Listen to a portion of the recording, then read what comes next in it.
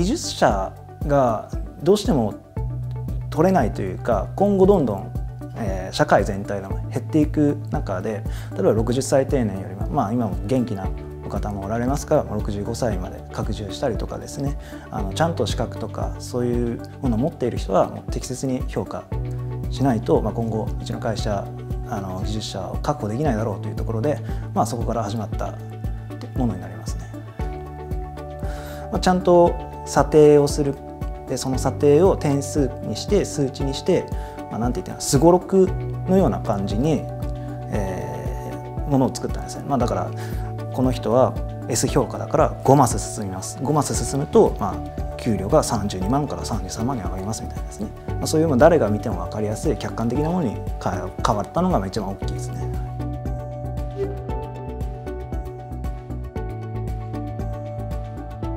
未経験の方でもちゃんと、あのー、現場で活躍できるような、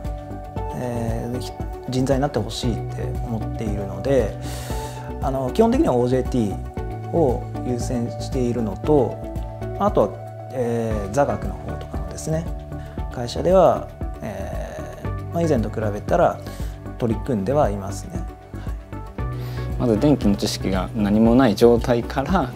まあ、上司や同僚に、まあ、聞きながら、まあ、初心者なんですけどまあ、詳しく教えていただいたりとか、まあ、こういうふうにやるんだよっていう、うん、指示であったりとか、まあ、それも的確で本当いつも勉強になるっていうところでその職場環境という面ではもうすごく満足しているところですね。もっと自分より前の世代の方なんて言ったらもう職人さんこういう人たちの持ってる貴重なノウハウをいかにこの次の世代に残さないといけないかっていうのを、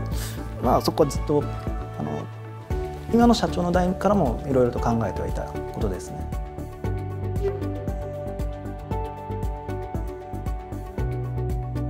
前職がちょっとコンビニエンスストアという小売業だったんですけど、今回こちら建設業また製造業ということで、まあ、全く他業種のところから自分は来たんですけど、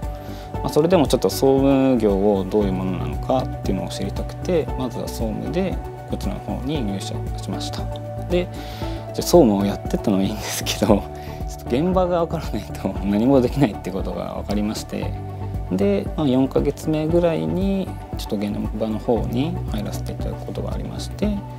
でと現場がちょっと面白く面白かったんで、まあ、現場の方に行きたいですっていうことを、まあ、部長の方に伝えてたらその現場の方にすることができて自分はとてもありがたいと思ってます